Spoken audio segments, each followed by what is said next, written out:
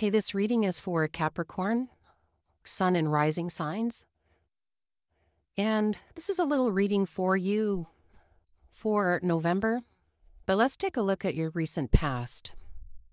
We have the Two of Pentacles, Five of Wands, and Queen of Fire.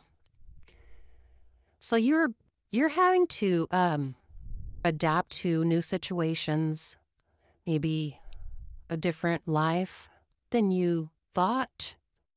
Just a lot of changes that you've had to deal with. So you've had to learn to be adaptable and flexible.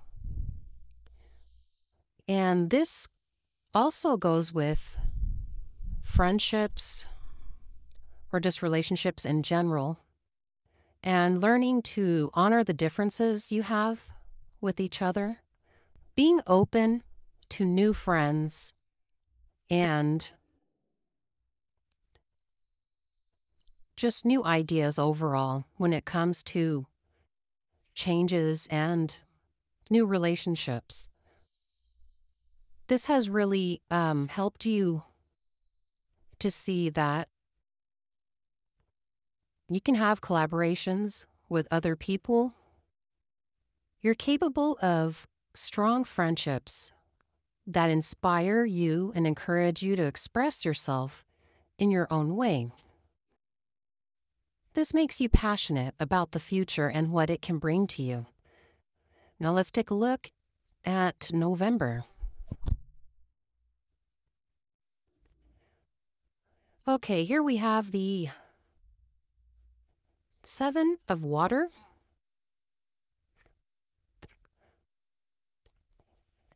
Four of earth. And call, which is the judgment. So I see that in November, you're needing to, again, it's talking about staying open to the possibilities and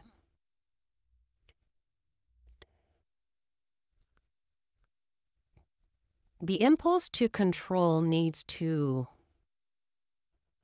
that needs to be an old way of doing things because for November it looks like you always try to maintain stability especially when it comes to your finances. But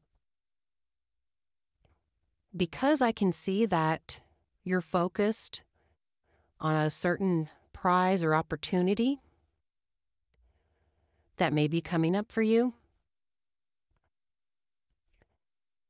And with this this card here, call, this is a call to action.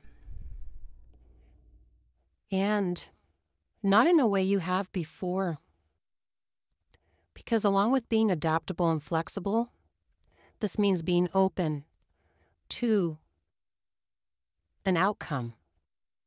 It may not be what you foresaw in, in the past, or may not be the vision that you have for yourself.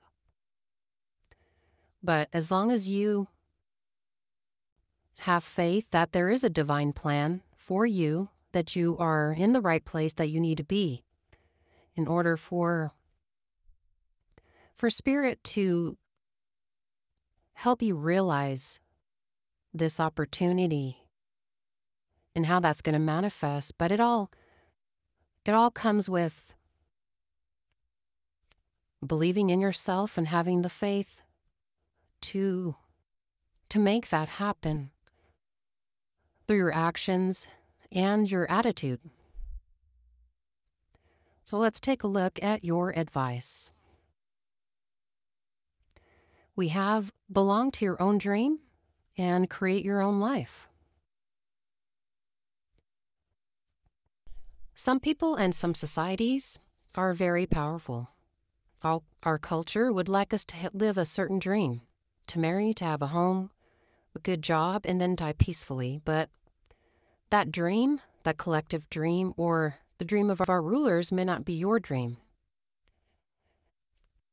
Remember your own dreams and wishes and to set about making sure that they are governing your choices. Many people will encourage you to head in a certain direction and live in a particular way that nearly everyone will agree is quote unquote right. But you have your own dream, a life in which you will live a little more adventurously and strangely than many others. It is time to break free of the collective dream and live within your own. Belong to only one dream. Belong to your own. This is about you finding that you've been following a plan, maybe a path that is not truly your own. So it's best to decide to take steps to live in a way that is authentic and truly your own. So if you have been wishing to live in your own world,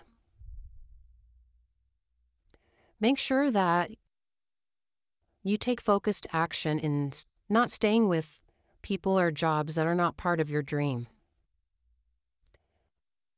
And not be governed by the desires and dreams of others. So it's time to make big changes toward following that authentic path. This is your soul's true dream for its evolution this lifetime.